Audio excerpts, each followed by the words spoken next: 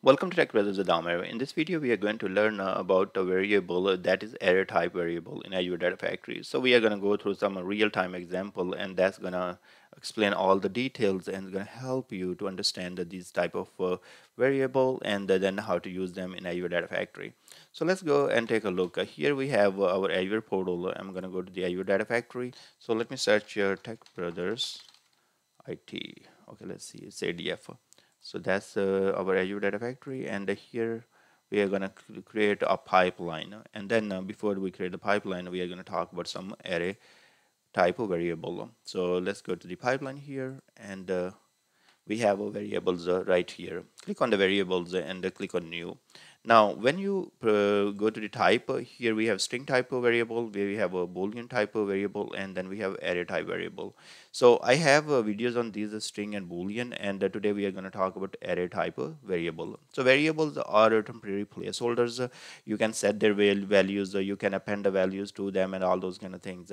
So and you can use them during the pipeline execution. So think about that. Uh, I need to extract some data for maybe some specific requirement and I would like to save uh, those values here. So in this case, uh, I'm going to, going to say our region. Okay, so this is variable region, and I would like uh, maybe uh, this is going to be array right so asia is one region and the second uh, uh, value in this array is europe so these are arrays are pretty much available in every language so it can contain multiple items so if you see right there let's click right there.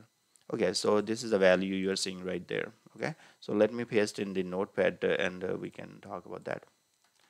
Also see right there so you have uh, Asia and uh, then you have Europe. Same way you can uh, also save different values such as number and all those kind of things so if you want to save numbers you can save these numbers like this uh, in this array okay? So right now what I'm doing I'm only saving two values in this array and uh, that's our variable in Azure Data Factory. Why I'm doing it? Because I want to use these values to extract data from one table and depending on these values I want to use them in the in the where clause. So I have this table here it's called total sale and uh, what I would like to do I would like to create two files uh, one for each region so you see that I have Asia region and then I have Europe region and I am gonna create uh, something like this where region is equal to Asia or Europe, right? So I need uh, these uh, two values there. Okay, so tomorrow my table might have uh, uh hundreds of other regions, uh, but I am always uh, going to create the um, files for Asian region.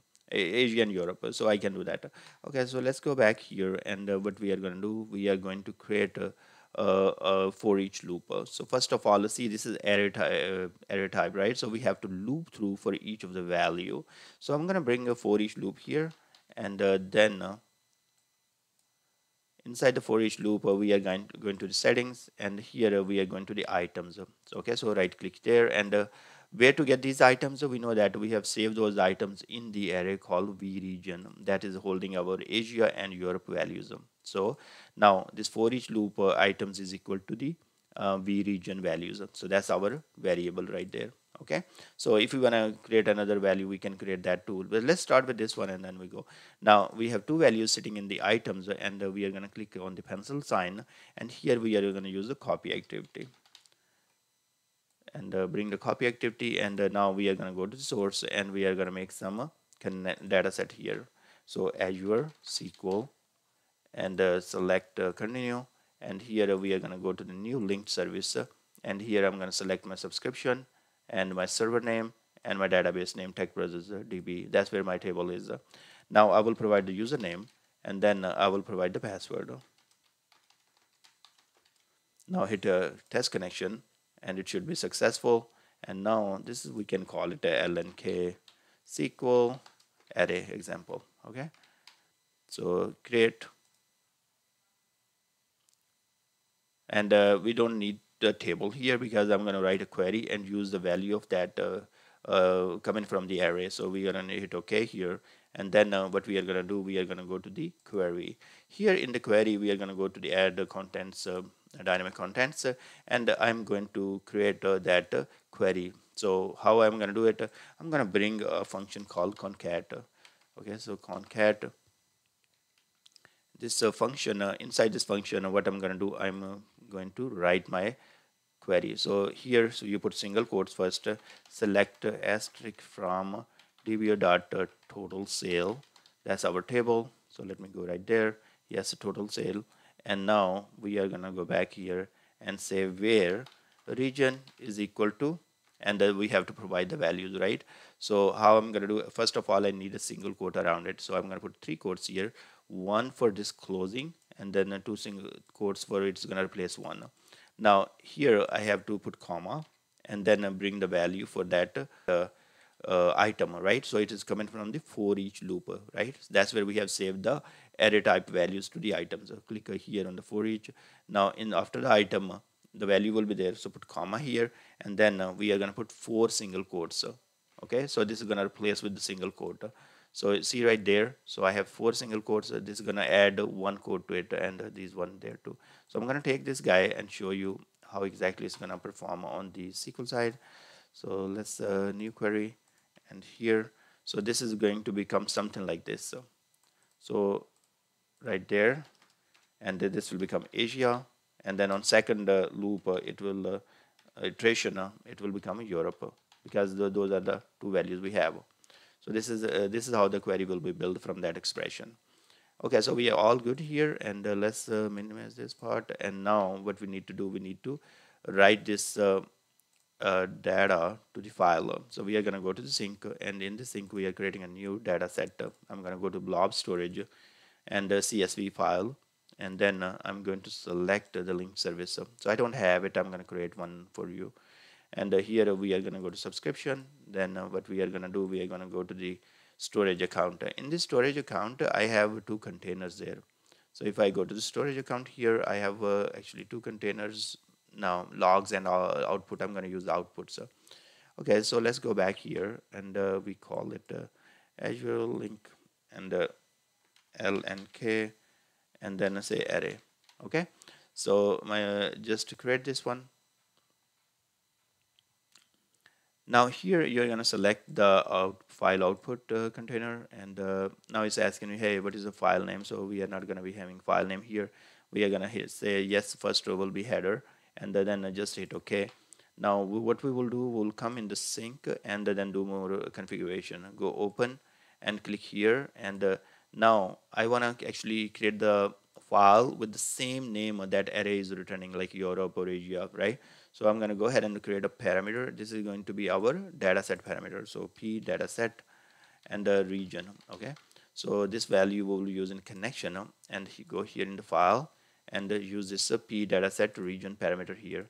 Now we have to provide the value for this parameter. Go back to pipeline and this parameter is shown up here. Click on the value and now we can match to the items. Um. So I'm going to click on my items. Um. So first time is going to bring the Asia, second time is going to bring the Europe, right? So that's how the file will be created.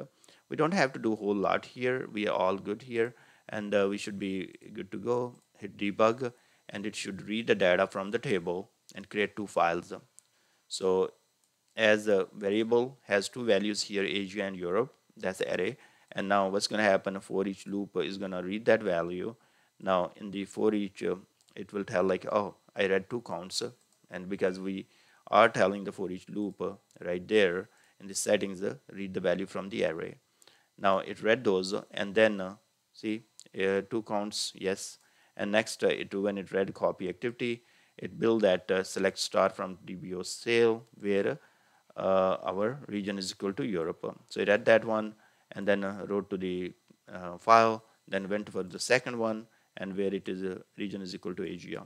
Okay, and it wrote to the file. Let's go refresh our folder. We have Asia file and then we have a see this is data coming for Asia. Okay, and then if we go back here, there is a data for Europe right there so click right there edit you can see the data for Europe now if I go back here and uh, I'm gonna say like oh I want to add more variable values to it I can simply do it so in this case uh, if uh, I would like to do uh, let me take this uh, uh, North America. So if I want to create the file for that region as well so I can add that right now I'm hard coding these values from this region uh, but uh, to just uh, perform this uh, um, if you are building the different uh, regions and all that and you need to get from the some file or table you can always use the lookup. But I'm demonstrating the use of these array values here. So that's why I'm hard coding here okay so this could be also one scenario where let's say you are reading the file that's coming from uh, uh, there's an excel file and you always need to read the two or three different type of uh, uh, sheets uh, from each of the file. So you can hard code those values in this array and always uh, that sheet name will be used there. So I have a demo on that one as well if you want to see. Okay let's say hit debug again and now it's going to create a three different uh, files for us because our variable is array variable holding three items uh, Asia Europe and North America. So now this time is saying hey you have three item count and the next one is going to run for each of them and uh, you can see that it ran for uh, Europe and it ran for uh, Asia and finally it uh, got executed for uh, North America. So we can go back here and take a look on the files and now we have uh, even a North America file there. See right there so we have it. Okay. This sounds very interesting and I hope you learn how to create the array type variable and then use it uh, in the for each loop uh, and uh, make sense in different scenarios how to use this array type of variable. So thank you very much for watching this video. Please go ahead and subscribe my channel and i will see you guys in next video